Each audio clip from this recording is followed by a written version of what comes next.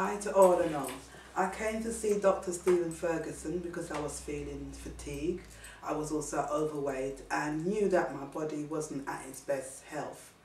And um, I came and I did the eight weeks program, changing my diet and exercising.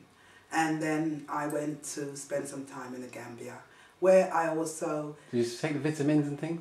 I took the vitamins, I took the blood cleanser, I used the the shampoo, um, the muscle, the pro, is it the protein? And what, what are you suffering? What was you suffering with before? Mostly, I was suffering with fatigue, and um, overweight, and like a bit of ache in my knee.